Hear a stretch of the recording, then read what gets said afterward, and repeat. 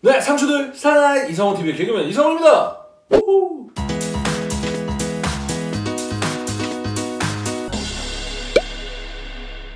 레고입니다. 레고 중에서도 스타워즈. 제가 스타워즈 시리즈 굉장히 좋아하거든요. 그 중에서도 죽음의 별 10188 데스스타 되겠습니다.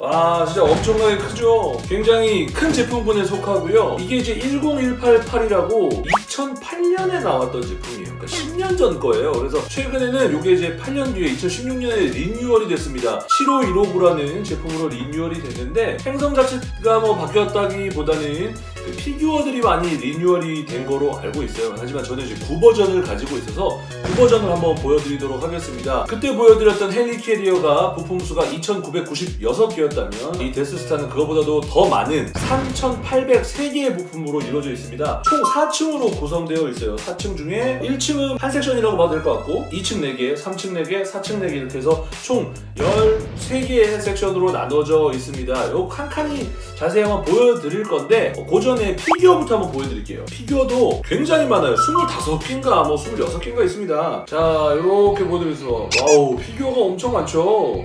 여기 보시면 뭐 팰퍼틴 황제, 다스베이더, 데스스타 트루퍼, 스톰 트루퍼, 임페리얼 로얄 가드 있고요.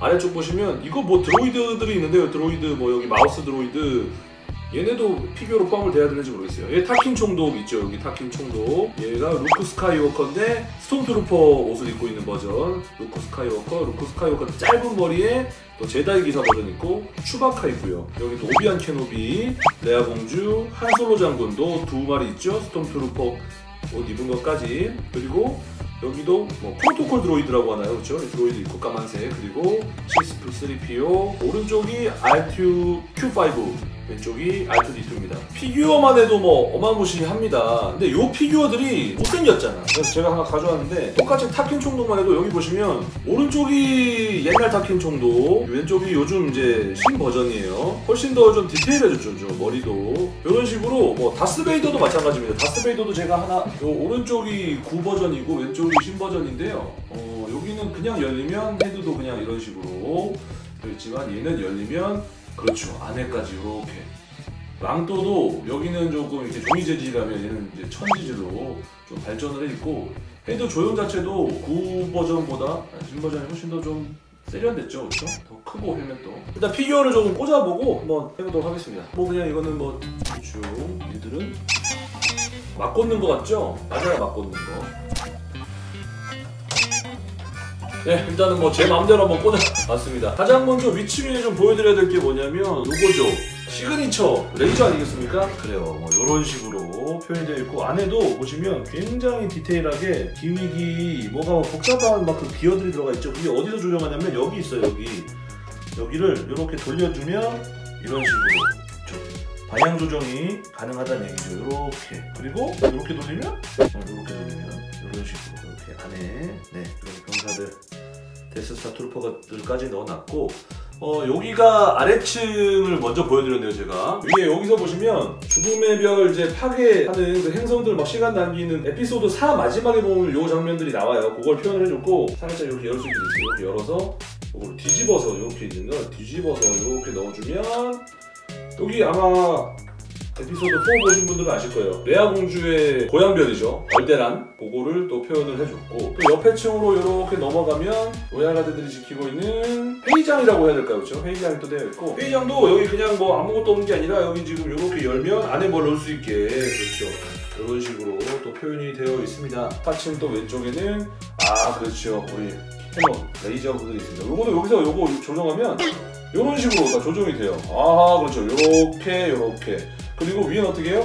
이렇게 그렇죠. 어 90도까지 하하이 올라가고 어허 여기도 마찬가지로 하타 올라가겠죠. 그렇게 해서 표현이 되어 있고 4층 왼쪽에는 여기 뭐 이게 과학실 그런 느낌이네요, 그렇죠? 얘도 뭐 이렇게 일어나고요. 요도 이제 스톰트루퍼 여기다 이제 꽂아놨는데 헬멧을 얘들이 이제 다 한솔로랑 루크 스카이워커 그 했던 거 남아서 여기다 일단 꽂아놓은 거예요. 이런 부분들도 굉장히 디테일하게 네, 마우스 드로이드도 있고. 3층 한번 보여드릴게요. 3층은 요거 뭐 이렇게 움직일 수 있는 게 있죠 요거 요거. 여기 요거를 네, 이렇게 돌려주면 뭐가 되느냐? 바로 요 밑에 문이 열려요.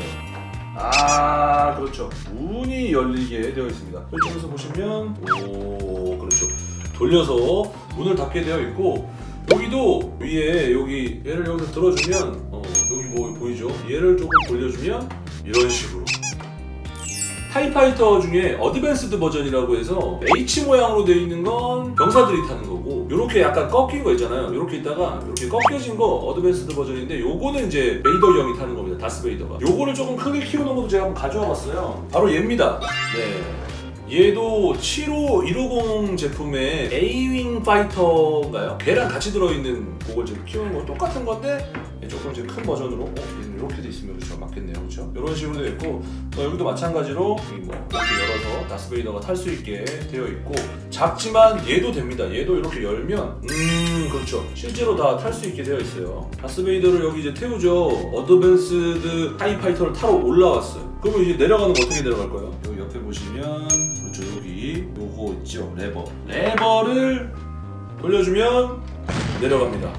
우와 신기하죠? 재밌죠? 네, 내려가서 이 밑에 층을 이제 조금 같이 소개를 해드리면 얘네가 이렇게 뭐 잡아서 그렇죠 이런 것들을 뭐 잡아서 옮길 수가 있게 되어 있어요. 이렇게 옮겨주거나 아니면 사람을 타는 그런 엘리베이터 gimmick을 해놓은 것 같아요. 그러면 다시 이렇게 돌려주면 이런 식으로 아 표현이 되는 겁니다. 3층에 또 이쪽 섹션 보시면 아 이거 아마 여러분들 많이 아시는 내용이죠. 이게 에피소드 6에 아마 나왔을 거예요. 팰퍼틴 황제가 루크 스카이워커의 그 포스를 알고 데려오긴 하죠. 다스 베이더가 자기 아들을 여기 데려와서 dark side로 들어 돌아서라고 했는데 돌아서지 않아서 팰퍼틴 황제가 루크한테 막 이렇게 하잖아요. 그랬더니 갑자기 부성애가 발동해가지고 얘가 이거를 여기서 들어서 던지죠. 그럼 이 안으로 와 하면서 그 아래쪽으로 떨어지잖아요.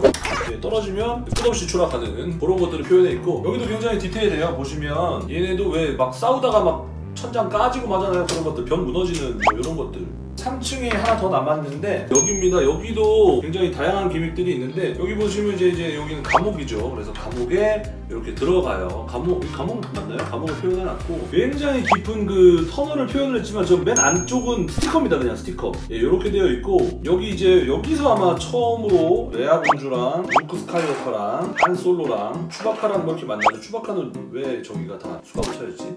이렇게 있다가 스톰트루퍼들을 피해서 여기 이게 이렇게 문이 열, 문 열고 여기로 이제 빠지죠. 여기로 빠지면 이제 어디로 들어가느냐? 얘네가 여기로 빠지면 이 안으로 들어갑니다. 여기로 빠지면 일로 빠지게 돼 있어요. 아 그렇죠. 루크도 여기로 이제 들어가면 요 밑으로 그 레아도 여기로 빠지면 그렇죠. 여기로 다 빠지게 돼 있어요. 여기가 이제 그 이상한 괴물 사는 네 여기죠. 그 그렇죠. 여기로 빠지게 돼 있고 그래서 막 얘네가 드로이드 이 R2D2랑 C3PO가 이 옆에서 이제 이거 가지고 막 열려고 막 난리 부르스를 치잖아요. 그리고 여기 위에도 위가 이렇게 이렇게 그렇죠. 이렇게 닫히게 되어 있고 이렇게 열렸다 닫혔다 하고 있고 여기 보시면 감시 카메라도 이렇게 얘네가 지금 뭐 어디 있나 뭐 이런 것들을 표현을 해놓은 것 같습니다. 아까 빠졌어. 안으로 빠지면 어떻게 돼요? 여기 여기 들어갔잖아. 여기가 여기서 이렇게 이걸 눌러주면 좁아져요 이렇게. 오! 이 좁아지는 걸 표현을 하고 있어요. 오! 요런 요런 거 요런 거 막 막대기로 여기 막 이렇게 꽂잖아요. 그래서 이렇게 이렇게 와 하면서 여기 꽂아주면 이걸로 왜 버티잖아 결국은 이런 식으로. 2층 이쪽에는 그냥 아무것도 아닌 것 같지만 얘가 똑같이 붙어 있는 것 같지만 얘는 이렇게 빠져요. 이렇게 빼면 이렇게 쑥 내려가요. 그냥 다 내려가요. 그래서 요 아래에서 요거를 이렇게 올려주면 이렇게 뭐 에너지 탑 부딪히는 그죠? 에너- 에너지가 딱 뭐 어디 올라가는 뭐 그런 느낌. 그리고 바로 여기입니다. 아, 제가 굉장히 좋아하는 아시죠? 레아 공주랑 루크 스카이워커랑 이제 밧줄 하나 메고 탈출하는 그 장면이에요. 그래서 stormtrooper가 여기 있으면 안 되고 이제 뒤에 있잖아요. 그러면은 얘네가 밧줄을 붙잡고 둘이 뭐 이런 식으로 그렇죠. 매달려서 여기를 이렇게 건널 수 있게 되어 있죠. stormtrooper들이 여기 있으면 만약에 예를 들어서 이쪽에서 한다 그러면은 와 하면서 이제 반대쪽으로 이제 이렇게 넘어가죠. 이런 것들을 이제 표현을 해줬습니다. 여기도 뭐 아까 그 엘리베이터를 내려보냈던 네, 그, 그 부분이에요. 그 부분. 네. 아 여러분 맨 아래쪽은 섹션이 다섯 개네요, 그렇죠? 그러면은 총 1층까지 따지면 뭐 14섹션까지도 되는 것 같아요. cannon포, 레이, 레이저포 이렇게 되어 있습니다. 이거도 여기 나갑니다, 요거. 조심하세요. 자, 이거 한번 열어볼까요? 살짝 위를 잡아주면 이렇게 튀어나가죠. 예. 맨 아래쪽 이제 1층인데 여기에 이렇게 지금 stormtrooper가 있잖아요. 이게 다 엘리베이터로 이제 되어 있어요. 그래서 어떻게 되어 있냐면 이쪽에 보시면 요거 돌리는 거 있어요. 여기 여기 요거 돌리는 거. 이제 요걸 돌려줍니다. 요걸 돌려주면 얘가 올라가요. 오케이. 짠짜라짠 1층 지나서 자 3층 옵니다. 3층. 3층 올라와서 4층에 꼭대기층까지 도착을 합니다. 아 그렇습니다. 한 칸 한 칸마다 정말 재밌는 기믹들과 디오라마가 되어 있는 데스스타입니다. 혹시나 스타워즈를 안 보신 분들이라도 스파이더맨 홈커밍 보면 우리 피터 파커 친구 우리 네드가 이거 갖고 와서 원래 계속 데스스타 레고 조립하자고 하잖아요. 그게 이겁니다. 오늘도 아주 재미있는 레고 한번 보여드려봤습니다. 여러분 재밌게 보셨습니까? 재밌게 보셨다면 구독과 좋아요 부탁드립니다. 그럼 다음 시간에 다시 찾아올게요. 안녕.